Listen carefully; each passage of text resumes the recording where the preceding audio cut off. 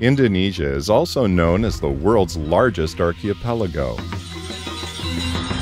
These facts and numbers naturally makes Indonesia the fourth largest population after China, India, and the United States of America.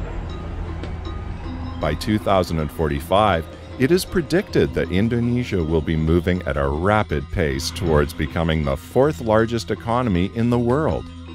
Indonesia's economy is expected to grow 5.3% in 2018 and 2019 as investment accelerates and household consumption improves.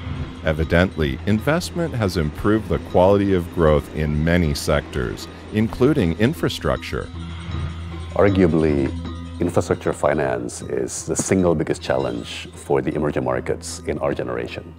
Thankfully, we now have the Belt and Road Initiative, which even with growing pains, initial challenges, still remains the single largest infrastructure development program in the world today.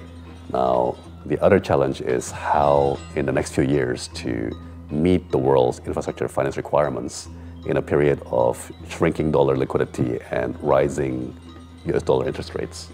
As one of the largest global banks, with a presence in more than 60 countries, HSBC is able to connect our global customers with the opportunities present in Indonesia today.